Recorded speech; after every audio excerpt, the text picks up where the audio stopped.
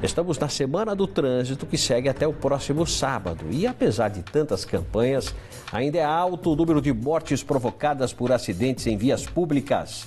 Deixa eu ver na reportagem do Basílio. Foi um domingo de conscientização e aprendizado para adultos e crianças. Esse garotinho aí, admirador da Polícia Militar, aprendeu como funcionam as sirenes da viatura.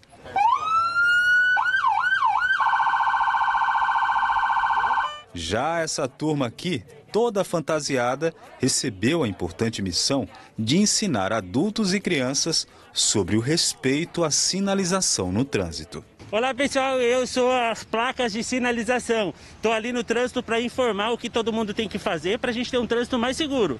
Presta atenção em mim, hein, pessoal. Eu sou semáforo e eu preciso ser respeitado para evitar os acidentes.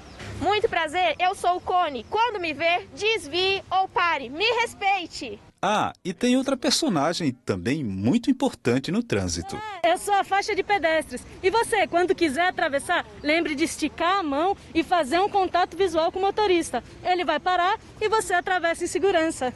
E para ninguém esquecer do recado, teve até música falando da faixa. Não esqueça, hein? Pise na faixinha. Pise, pise, pise, pise na faixinha. Vai ficar segura atravessando bonitinha. As ações fazem parte da Semana Nacional do Trânsito, que reuniu no Parque Campolim diversos agentes públicos, entre eles os profissionais da URBS, Trânsito e Transporte, Polícia Militar e Guarda Civil Municipal que trouxe junto este cãozinho simpático aí.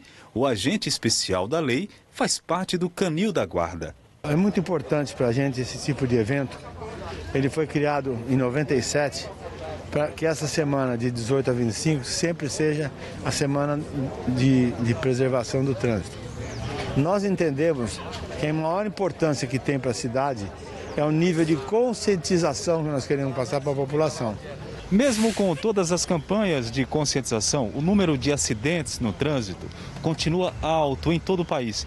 Na região de Sorocaba não é diferente. Só de janeiro a junho deste ano foram registrados 234 óbitos decorrentes aos acidentes de trânsito. 86% das vítimas são homens, 65% são condutores e 21% pedestres. 57% das mortes aconteceram em rodovias e 39% em vias municipais. Uma das concessionárias responsável por rodovias da região também participou do evento. Os profissionais de segurança viária fizeram um simulado de atendimento à vítima de acidente de carro. As equipes se mobilizaram do início ao fim do resgate até um alicate hidráulico foi utilizado para cortar as ferragens do veículo.